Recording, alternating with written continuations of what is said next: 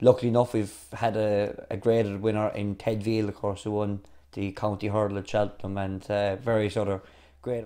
I don't want to be standing in at a race beat with my hands in my pockets doing nothing, uh, being bored and uh, just walking people walk by.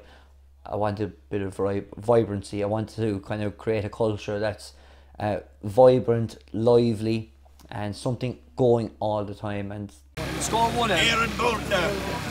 Yes, please. Score one L.